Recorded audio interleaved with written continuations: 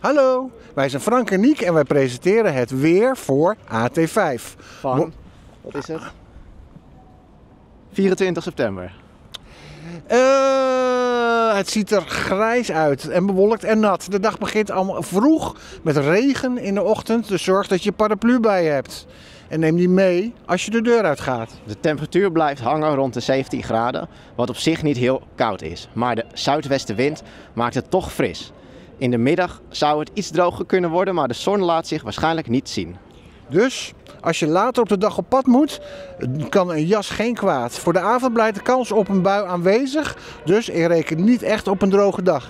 Kortom, niet het beste weer, maar wel typisch weer voor de tijd van het jaar. Zorg dat je goed voorbereid bent en hopelijk blijven we een beetje droog. Dit, was het weer. Tot, de volgende keer. keer.